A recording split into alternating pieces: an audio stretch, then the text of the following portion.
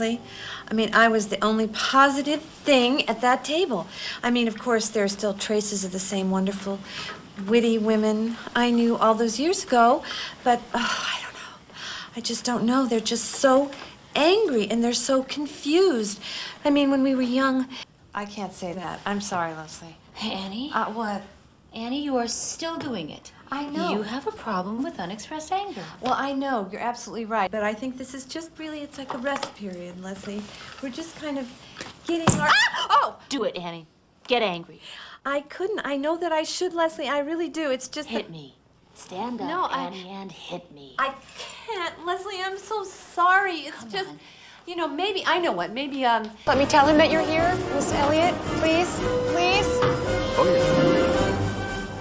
Elise, what a kick. I, I, but I'm on with the coast. All the good stuff goes.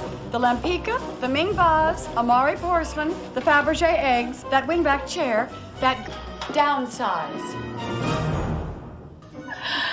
And I've just been thinking about, you know, who she is, what she's all about, and, you know, I'm sure you're doing the same thing with Monique. Oh. And you're gonna help us make very sure that that never happened. But Vito can, and Joey can.